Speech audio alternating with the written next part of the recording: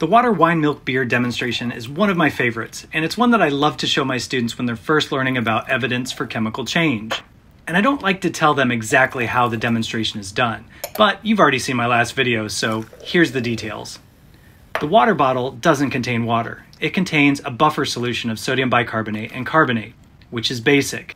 And that's important because the wine glass has a chemical indicator that only turns purple when a base is added to it. The milk glass contains barium chloride, which precipitates with the water, forming a milky solution. And finally, the beer stein contains potassium chromate and some acid to give us those bubbles.